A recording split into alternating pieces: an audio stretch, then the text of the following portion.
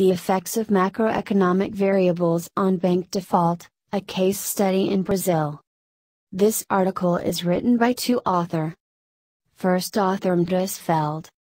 Second author Wagner Eduardo Schuster. Contribution and originality of the study is that, this study contributes to the existing literature by demonstrating, through a case study in Brazil, the unique effects of the macroeconomic environment on the default of different and specific credit products, while most of the recent research focuses on aggregated data or default indexes. With the end of the recession from 2014 to 2016, Brazil began a gradual recovery process, with a positive impact on some economic variables, among them, credit financing.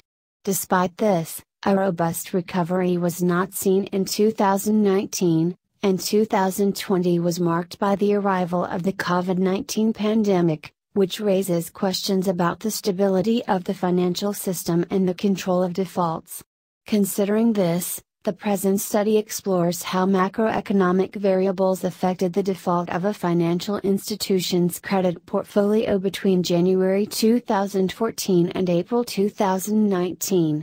To perform this analysis, we built a vector error correction, VEC, model that captured the long-term relationships between the default of different credit products and the selected macroeconomic variables.